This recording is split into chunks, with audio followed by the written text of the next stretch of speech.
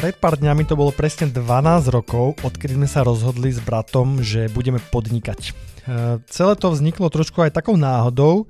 Objavili sme doplnok stravy, ktorý sme vedeli predať na bazoši a vedeli sme ho predať so ziskom. Takže vedeli sme ho predať drahšie, ako sme ho vedeli nakúpiť. To bolo celé.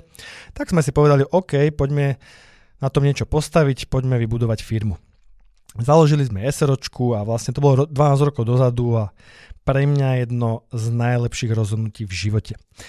Za tých 12 rokov, pozerám Google Analytics, tak sme rozbiehali desiatky projektov a dnes by som sa chcel trošku zamyslieť nad tým, že čo vlastne oddeluje ten úspešný projekt alebo úspešnú firmu, úspešný tým, úspešnú značku od toho neúspešného.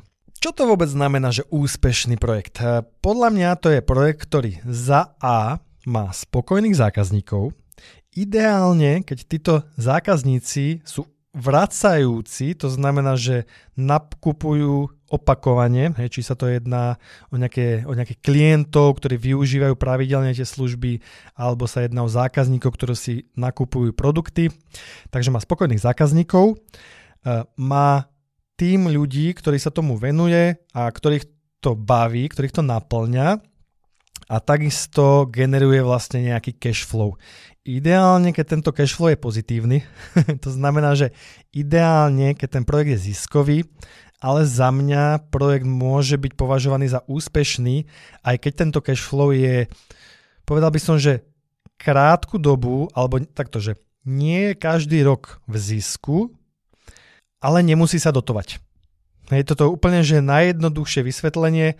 Uh, projekt proste občas vygeneruje aj negatívny cash flow, ale nemusí sa dotovať, nemusia sa tam stále vkladať peniaze, brať nejaké pôžičky, proste ten projekt je udržateľný.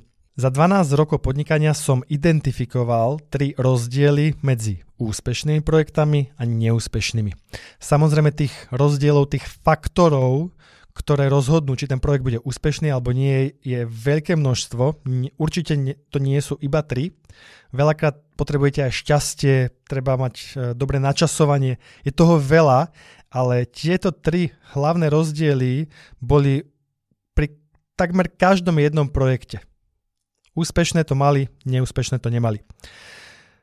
Pomudrujem o tom v Podnikast klube, môžete sa tam pridať podnikast.com lomka klub budem rád, keď sa tam uvidíme.